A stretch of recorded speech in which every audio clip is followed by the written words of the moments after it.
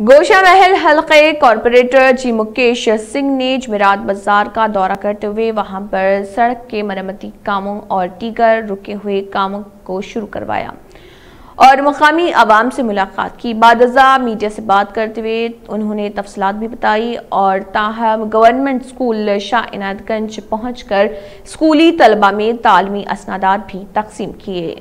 ठाकुरवाड़ी, जो जुम्मतवार के करीब जो बस्ती है, हमारी ठाकुरवाड़ी और यहाँ पर एक छः आठ महीने पहले काम शुरू हुआ था। एक ड्रेनेज लाइन का और अपना रोड का काम सीसी रोड का काम शुरू हुआ था, जो कुछ वजह से पेंडिंग हो गया था।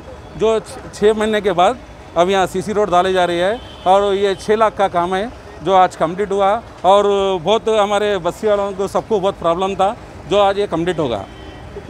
एक छः महीने से पेंडिंग था ये। कुछ मिस्टेक के वजह से ये काम थोड़ा पेंडिंग था। वो जोनल कमिश्नर मैडम और हमारे तजानी सिन्हा साहब के वहाँ से हम बात कर लेके फिर मैडम आगे सर्वे करें जोनल मैडम प्रवीणा मैडम, आगे सर्वे कर लेके इमीडिएट सेंक्शन करे। हम मैं मैडम को और तजानी सिन्हा साहब को धन्यवाद करता हूँ।